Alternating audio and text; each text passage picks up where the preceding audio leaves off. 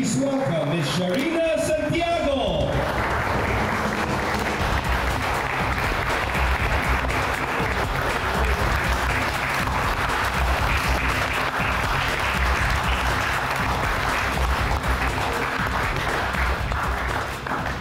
Thank you so much.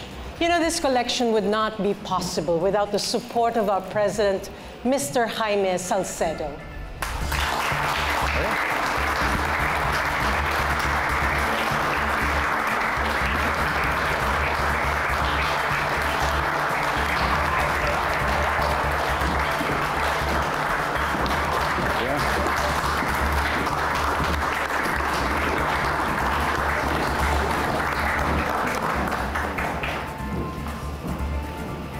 Good evening, everybody.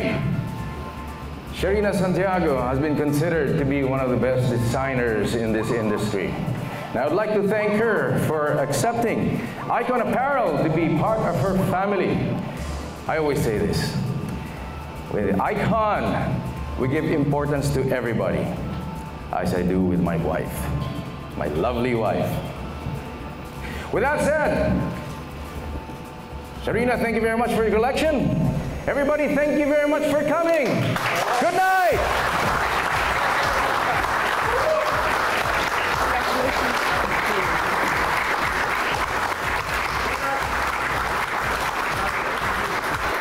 O yan, Andrea ha, tingnan mo. Buksan mo yung mga mata mo. Sila ang mag-asawa, sila ang bagay. Alam ko naman yun. Hindi naman ako nag-iilusyon eh. Talaga lang ha. Hindi nga. Kaya lang naman ako pumayag para magkaayos sila eh. Eh, mukhang nangyari na nga.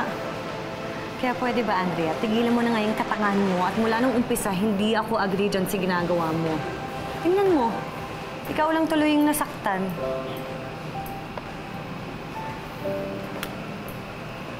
Basta't ka pupunta? Uuwi na ako sa trabaho ko dito.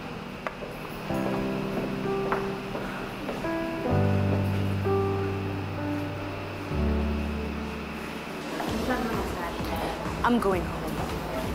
Dali, Veronica. Hindi mo naintindihan eh. Alam mo ba kung bakit ko ginawa yon? Ginawa ko yon because of you. Ako? Yes. So ako pang sinisisi mo. Alam mo, Jaime, okay lang naman kung gusto mo makipaglatdian dun sa assistant mo. Ang akin lang naman, sana pumili ka naman ng ka-level ko man lang para hindi naman nakaka-insulto.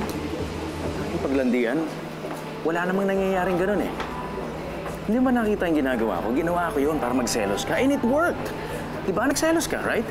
I, I, I can see it. Nagselos ka because meron ka pang nararamdaman para sa akin, right? Because you still love me, right? You're that desperate? Yes. I'm that desperate. Gusto kong bumalik ka sa akin. Gusto kong bumalik ka sa pamilya namin. Paano yung mga anak natin? Anong gagawin nila? Okay. Tell me you still love me. You do, right? Jaime, You do. Because nagsiselos ka. Nakita ko. Nararamdaman mo pa sa puso ko. Jaime, please, You okay? still love me. You tell me that. Please, You tell me. don't flatter yourself. Hindi ako nagsiselos at hindi hindi ako magsiselos sa babae na yun. Pwede ba? Stop trying to make me go home. Dahil hindi-hindi na ako uuwi sa'yo. Don't say that. We're done, Jaime. In fact, I want an annulment.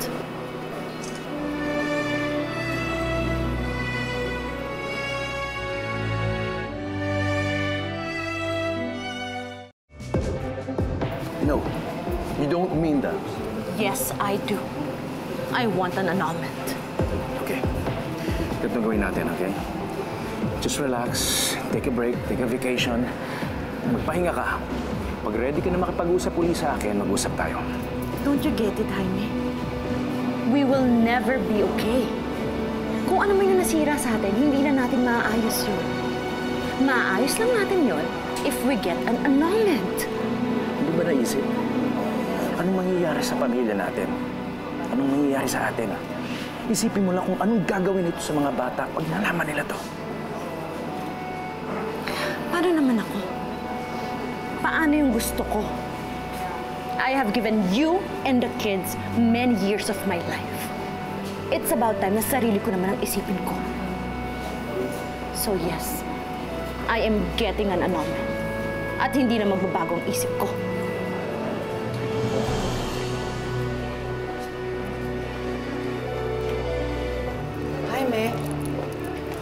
Kanina pa Ba? tayo nahanap eh. Tapos naman show? I'm sorry, the traffic was terrible. Ah, teka, si Veronica yun ah. What was she doing here? She wants an annulment. What?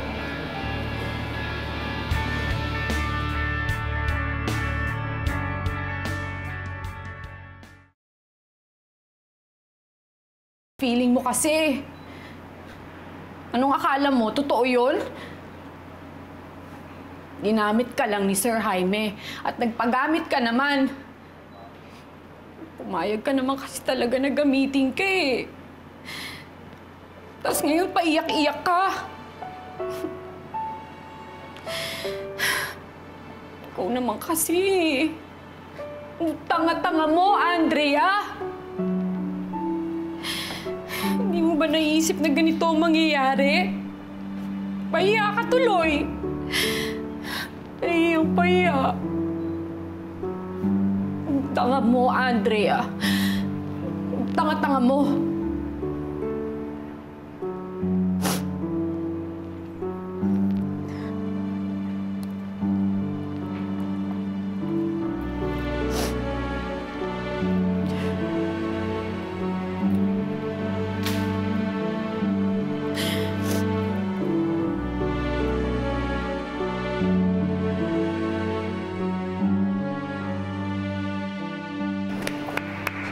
Great show, girls! Thank you, thank you. Good job. Great show. Rebecca! Rebecca, nasan si Andrea? Umuwi na. Naalipusan naman kasi ng bonggang-bongga yung pagkatao niya. Hindi naman siya masokista. Alam mo, pasensya ka na. Talagang hindi ko akalain ganyan pala ang mangyayari kanina. Inisip niyo na pasilosin yung asawa mo gamit yung kaibigan ko. Si Andrea. Tapos ngayon na nagselos na ngayong asawa mo at sinugod pa yung kaibigan ko at kung ano yung mga masasakit na salitang sinabi sa kanya, ngayon sasabihin mo na hindi yun yung gusto niyong mangyari. Oh. So ano pong ini-expect niyo? Na maglululundag sa tuwa yung asawa mo? Sir, kasi, um, kawawalan kasi yung kaibigan ko. Rebecca, naiintindihan ko. Hindi ko sinasadya talaga na masaktan siya. Okay po. Sige, sir, sabi mo eh.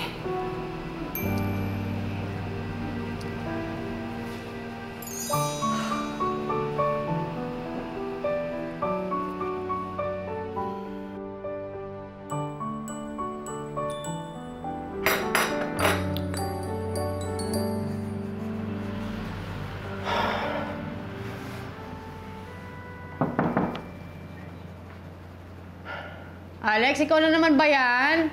Gabi na.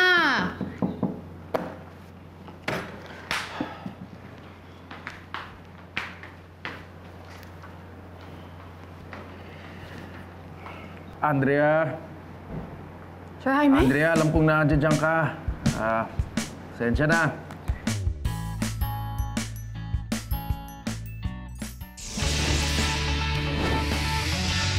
Wala akong pakialam kung maghiwalay kayo. Pero ang concern ko yung mga bata. Masasaktan sila pag malaman nila ang tungkol sa annulment. Kids, wala akong kasalanan sa mama ninyo. Siya ang umalis. And I don't understand why. Naglayas si Mama and you can't even explain why? Well, you must have done something wrong. Pa, sinaktan mo ba siya? Pero paano kung gusto siyang hiwalayan ng asawa niya dahil sa akin? Andre, wag mo nga akuin ang kasalanan ng buong mundo. Parang hindi yata ako matatahimik hanggat hindi ko na-explain sa kanya na wala talagang namamagitan sa amin ni Sir Jaime. Ano ba? Istorbo lang yan. May ibang lalaki si Ma'am Veronica.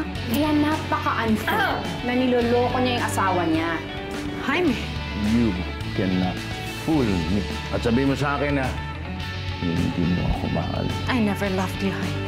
Napag-utusan lang naman akong papirmahan sa'yo to. Parang wala naman kayong pinagsamahan yan. Babe, gusto ko pa naman siyang i-invite sa wedding natin. Sir, wala pong dahilan para magpakawasa kayo dahil sa isang manloloko. Sir, nakita ko po si Ma'am Veronica.